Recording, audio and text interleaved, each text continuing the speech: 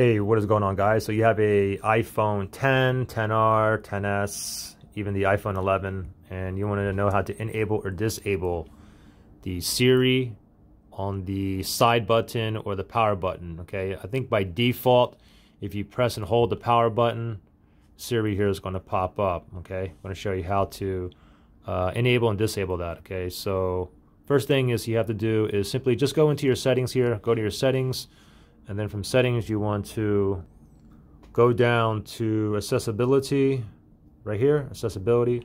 Tap on that.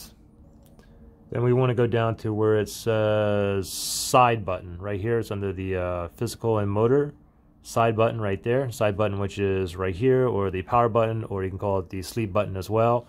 And if we look down here, it says press and hold to speak. And I think by default, again, is Siri is uh, checked.